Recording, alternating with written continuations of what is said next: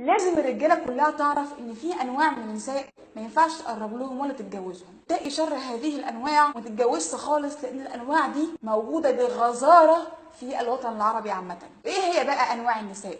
الأنانة والمنانة الحنانة والكنانة والحداقة والبراقة والشداقة. الأنانة هي اللي طول الوقت تقول لك آه ودني توجعني آه عندي مش قادرة يا حسين مش قادرة ظهري جابني يما مش قادرة مش مزعليش مش عاملة قلبي تعبانة آه ماشية ظهرها كده ماسكة في ظهرها وماسكة في راسها وماسكة في كل حتة في جسمها. بتئن وتقول لا ده مش ده مش ده كان ميك اب ومش عايز يتمسح عشان مش معايا ريموفر فسايباه. عندها مشكلة في جسمها طول الوقت. المنانة. تكثر من المن على ما فعلت فيهم خيرا. دي ما تعملش خير في حد غير لما تقعد تذكره في كل مكان ومع أي حد حتى لو جوزها اللي عايش معاها. أنا نضفت لك. عاملة لك الأكل نظفت لك الشقة مسحت لك مش عارفة إيه نظفت لك الحمام أكلتك وشربتك ونيمتك وصحيتك وعملت لك وتبتلتك وفي إيه؟ ما أنا عمال أعمل لك وأنا عايشة في أنا بعمل لك كل حاجة. ده أنا اللي جايبك من الشوارع. ده أنا ما كنتش راضية بيك. ده أنا ما كنتش راضية بيك وبابا هو اللي قلت خلاص هو ده. خلاص. ما كنتش أنا كنت بفكر خمس دقايق ما كنتش هتجوزك. تمن عليك وتقول لك على كل حاجة هي عملتها فيك وتذلك طول حياتك. هي بتذلك بس. الحنانة. مرأة شديدة الحنين إلى بيت أبيها. عندها ارتباط فظيع ببيت أبوها.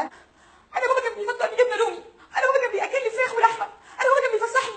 أنا بابا كان بيعمل لي. أنا بابا أنا ماما أنا أخواتي كانوا بيعملوا لي. أنت بتعمل معايا كده ليه؟ أنا حاسه إن أنا مش عارفة إيه. أنا مش عارفة إيه. ويليها فورا الكنانة. أنا كان أبويا بيعمل لي وبيخلي لي وبيسوي لي. ده أنا كان أبويا بياخدني بشنطة هدومي كده يقول لي حضرتك شنطة هدومي. ياخدني ويطلع بيها على الساحل نقعد أسبوع لعب إيه وأكل إيه وحاجات. دي اسمها الكنانة. تشبه بالحنانة ولكن الحنانة والكنانة تعتبر في ليست واحدة فبدلهم هما الاثنين الحداقة منتشرة في جميع البلاد العربية بكثرة. حذر منها الرجال. تهد إن هي تبين لك إن هي بتحبك وكل الكلام ده ولكنها حداقة. يعني إيه حداقة في اللغة العربية؟ يعني لو شافت أي حاجة بتشتهيها. عايزاها عايزة أشتريها. هي دي. آه بقى لو ما عملتهاش تبقى حنانة ومنانة وكنانة. كل الصفات اللي انت تبعد عنها هتلاقيها جاية لك. البراقة نظراتها بتخوف. كل أهل البيت بيرتعبوا من نظرتها. طول الوقت بتبرق. انت ماشي. لما نروح. مرعبة. مرعبة بجد. الشداقة ليل نهار بتتكلم.